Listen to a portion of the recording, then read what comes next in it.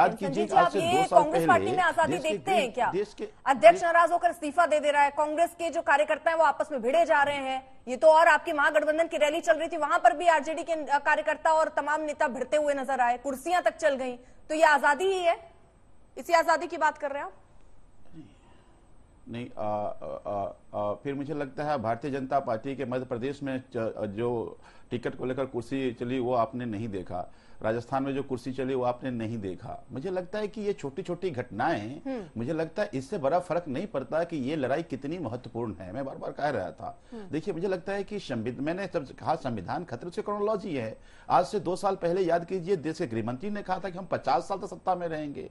भाई प्रधानमंत्री भी कह रहे हैं कि दो में हम विकास का काम करेंगे कैसे होगा? तो प्रधानमंत्री ने फिर कहा कि हम चार पार दे दीजिए हम सब कुछ ठीक कर लेंगे। तो चार पार क्यों करें? संविधान बदल देंगे। फिर संविधान में रहेगा जब तक प्रधानमंत्री रहेंगे नरेंद्र जी नरेंद्र मोदी तरह तो प्रधानमंत्री रहेंगे और फिर जो मर्ज़ी वो करते रहेंगे। फिर सारा सारा अधिकार बोलने की आज़ादी आज अरविंद केजरीवाल जी सीटिंग सीएम को जेल भेज दिया एक अप्रूवर के बयान पे जिसका कोई आधार नहीं था जिसका कोई बेस नहीं था जिसको ये खुद किंग पिन कहते थे जिसका साठ करोड़ का चंदा ये ले लिए।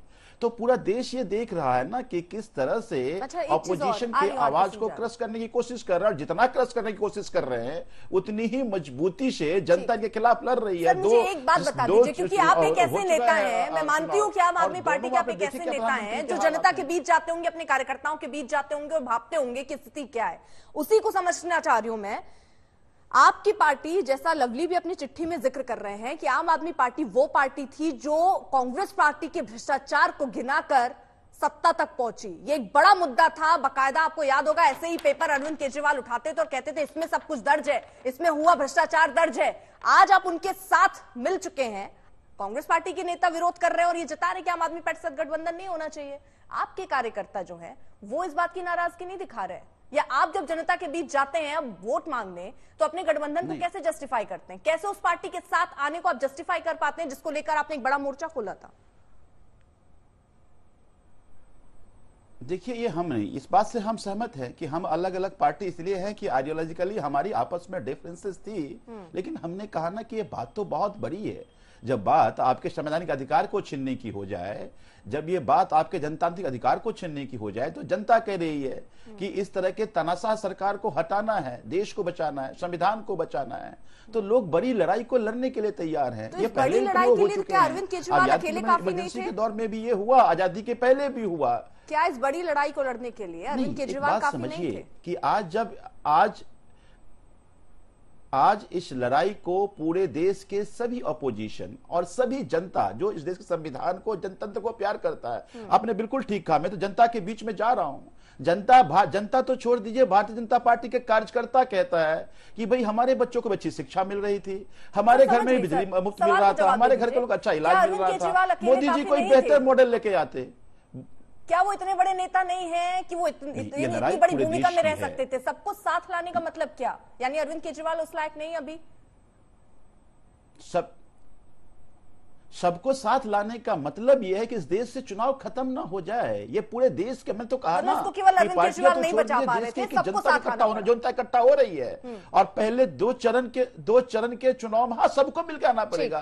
देखिए जब बात संविधान की हो जाएगी तो आपको भी आना पड़ेगा रिफ्ता जी ताकि आपको टीवी चैनल पे बोलते हुए आपको सरकार से डर लगने लगे। हम्म। तो समझिए लड़ाई और मजबूती से लड़नी है। तो जितनी सरकार डराएगी हम आज़ाद देश में पैदा हुए हमें कोई कैसे डरा सकता है? ठीक है। ठीक है जिस दिन डर लगेगा सर उस दिन ये भी कर लूँगी। बोल नहीं पाएँगे ना वक्त अभी है वक्त अभी है। आप नहीं बोल पाएँगे तब वक्त अभी है। सर आप अगर पैरवी कर रहे हैं तो मैं आपको याद दिला दूँ। आप वक्त की बात कर रहे हैं मैं उसी वक्त पर आपको ले चलू कुछ वक्त पहले। इमरजेंसी का जो दौर मीडिया ने भी देखा सर उतना वैसा दौर तो नहीं है कि रात में लाइट बंद कर दें और आज तक सुबह प्रोग्राम ना दिखा पाए। या मैं बैठ के आपसे चर्चा नहीं कर पाऊँ या सौ से ज़्यादा नेता जेल में हूँ। वो दौर नहीं है सर दौर अभी वो नहीं है। आप उसी पार्टी के साथ हैं जिसने इमरजेंसी लगाई थी। ये भी मत भूलिए सर। तो आप ठीक। आप आप हाँ तो आज आज वो पार्टी भी चाहती है कोई इमरजेंसी का दौर दिल्ली ना देखे देश ना देखे। अब वो चाहती है उसी तक अधिकार उसी पार्टी के साथ आके आप ये कह रहे हैं कि इमरजेंसी का दौर ना देखना पड़े इसलिए आप उसी पार्टी के साथ हैं जिसने इमरजेंसी का दौर लाया जिसे काला अध्याय कहा जाता है सर। वही दौर जो लेकर आया आप उसके साथ इस डर से कि वो हाँ, काला अध्याय फिर से न जुड़े अर्पिता जी जिस जिस पार्टी ने चुनाव इसके खिलाफ लड़ा था आज वो आज वो इमरजेंसी लेके आया। नहीं मुश्किल लेकर बोलने नहीं दे रहे ना आप लंबी बात कर रहे हैं। हम ये कह रहे हैं कि आज जो पार्टी उस समय में लड़ी थी आज वो इमरजेंसी का दौर ला रही है बल्कि उससे भयानक दौर ला रही है। ये अंग्रेज़ जैसे रॉलेट एक्ट लेके आया था इसे पीएमएलए एक्ट इन्होंने बना दिया जहाँ बेल ही नहीं हो सकता। इससे अंग्रेज़ तो फिर भी छह महीने में चार्जशीट चार्जशीट की बात की थी। ये तो सालों साल कहते हैं चार्जशीट जमा नहीं होगा। तो रॉलेट एक्ट से भी खराब ये पीएमएलए एक्ट हो गया। और पीएमएलए एक्ट इसलिए नहीं लाया कि कोई कसरत को जाँच करना है या रोकना है। लेकिन इसलिए आया कि ऑपोजिशन की आवाज़ को दबाना है। जो जो मान गया वो भारतीय जनता पार्टी में शामिल है। जो नहीं माना आज वो जेल में है। तो इससे बड़ा बुरा दौर और क्या हो सकता है? लेकिन हमारी कन्विक्शन और मज़बूत हो रहा है। अखबार रोके गए हैं ना चैनल की लाइट काटी गई है। सर वो दौर नहीं है जिस दिन होगा तो उस दौर पर भी हम चर्चा करेंगे। अब निजेश अवस्थी जिसे हम जरा एक छोटा सा रिएक्शन ले ले रहे हैं। तो हम जिस तरह से ठीक है सर एक सेकंड ठीक है सर उनको जरा मैं चर्चा में जोड़ लूँ। पूछेंगे ना। ठीक सर ओके सर। अब निजेश अवस्थी जी, जिस तरह अभी कांग्रेस में ये सर फुटअल की स्थिति बनी हुई है, इसके पीछे आप किसको जिम्मेदार देखते हैं? देखिए संजीव झा जी कह रहे थे कि दिल्ली में लोकतंत्र बचाना है, पंजाब में नहीं बचाना। तो दिल्ली में हमने कर लिया, पंजाब में हम अलग अलग लड़ेंगे। ये है इंडी गठबंधन की, वहाँ एक दूसरे को चोर कह रहे हैं। खुलेआम चोर कह रहे हैं। आप पंजाब कांग्रेस के किसी नेता से पूछ लीजिए, पंजाब मैं आप, आम आदमी पार्टी के किसी नेता से पूछ लिया, एक दूसरे के खिलाफ जो कर रहे हैं तो दिल्ली में लोकतंत्र बचाना है, पंजाब पंजाब में लोकतंत्र नहीं बचाना। तो ये देश की बात कहाँ से कर रहे हैं? पहली बात तो इंडिया अलायंस, दिल्ली की तीन और चार सीटों के अलावा कहाँ पर है? अगर कहीं कोई मुझे बता दे तो ज़रूर मैं अपने ज्ञान में अभिवृद्धि करूँगा। पहली बात। दूसरी बात, संजीव जी, आपने इमरजेंसी नहीं देखी होगी, मैंने देखी है। प्रधानमंत्री को जितनी गालियाँ दी जाती ना, उसका एक परसेंट तो बहुत दूर की बात है, सोचने तक पे पाबंदी थी। किसी के घर में अगर इंदिरा नाम की बेटी भी होती थी ना तो वो अपनी बेटी का नाम नहीं ले सकता था। हरिशंकर जी को तो मालूम है उस समय का। और उस समय हरिशंकर जी शायद कांग्रेस में थे भी नहीं, मेरे हिसाब से, जहाँ तक मेरा ख्याल है। हरिशंकर जी, आपने कहा कि अरविंदर सिंह लवली सामने आके क्यों बोले?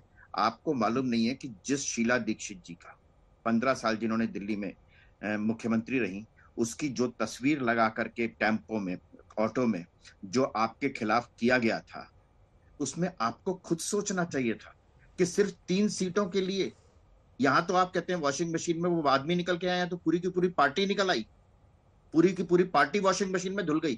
क्या क्या नहीं बोला था, कहा था, दो घंटे दो मुझे सोनिया गांधी को इंटेरोगेट करूँगा, सबको सामने आ जाएगा। ये सब कुछ है। सोशल मीडिया पे आज भी अवेलेबल है, सबको मालूम है। ये आप ही जानते हैं, और सबसे बड़ी बात यह है कि ये ऊपर ऊपर से आया है। आप, मैं बता दूँ, कन्हैया कुमार जी को हरिशंकर जी ने भी कहा, और जयराम रमेश ने कहा था कि राहुल गांधी के बाद सबसे, इस देश के सबसे लोकप्रिय नेता कन्हैया कुमार है। कहाँ से ये फैसला आया इसको जानना चाहिए। देश से आया, विदेश से आया, मुझे नहीं मालूम। ये किसका दबाव था? कन्हैया कुमार कांग्रेस का, कांग्रेस के खिलाफ क्या क्या नहीं कहा कन्हैया कुमार ने? उसको, उसके लिए वोट मांगने जाएँगे आप। उसके लिए वोट मांगने जाएँगे। पूरा कार्यकर्ता जो है उसको कांग्रेसी कार्यकर्ता को मालूम है।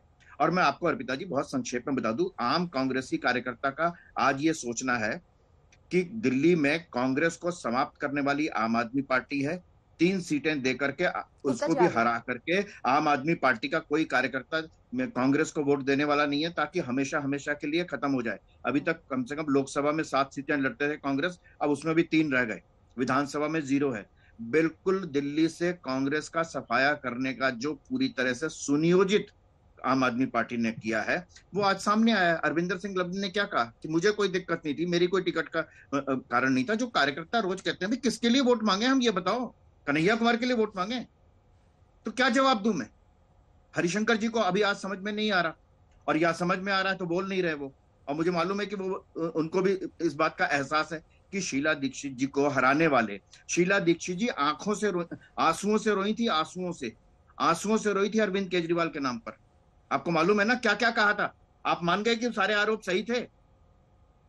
क्या देश में लोकतंत्र खतरे में आप ये बताइए हरिशंकर जी आपको लोकतंत्र खतरे में रखा आप अडानी कह रहे हैं आपकी बात का। मुख्यमंत्री मुख्यमंत्री बनते ही अडानी अडानी अडानी के अडानी के सामने वो फूलों का गुलदस्ता लेकर के गले मिलते हैं जैसे कुंभ में बिछड़े हुए दो भाई मिले हों। राजस्थान में अशोक गहलोत करते हैं केरल में करते हैं पश्चिम बंगाल में ममता बनर्जी करती तब आपको अंबानी अडानी नज़र नहीं आता आपको? ये किस जनता को बेवकूफ़ बनाते हैं आप? आपको खुद को मालूम है कि आप बेवकूफ़ बना रहे हैं। ये मुद्दा नहीं है देश में। ठीक है। गुप्ता जी।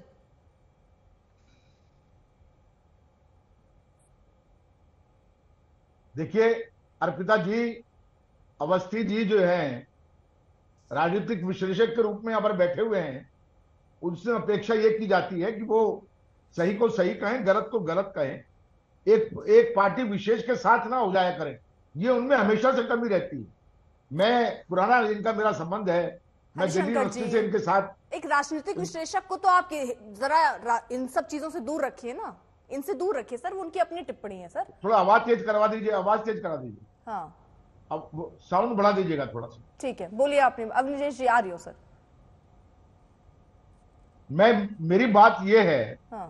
कि इन्होंने जो कहा अवस्थी जी ने इमरजेंसी के दौर की बात किया है।